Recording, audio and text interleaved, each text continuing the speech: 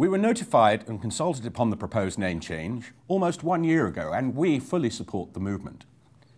We believe that the name change is appropriate at this time and that Mount TICDA is a more befitting name because of what TICDA means and symbolises in the modern world. In an effort towards reconciliation, we as the British government have decided to listen to local opinion and grant the name change in good faith and in moving forward.